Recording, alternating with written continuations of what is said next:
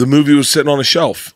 It was sitting on a shelf. They didn't want to touch it because of the Ukraine and Russian war. No Oh, one wanted to yeah, touch yeah, it. yeah, yeah. And I went on Rogan and I texted a couple people. I said, I'm going to leak the teaser on Rogan. And they were like, huh?